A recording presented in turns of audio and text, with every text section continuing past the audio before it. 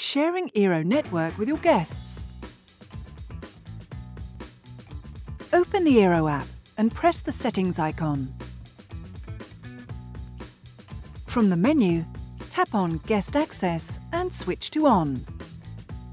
To share your network, give your guests your network name and password or scan QR code to join the network.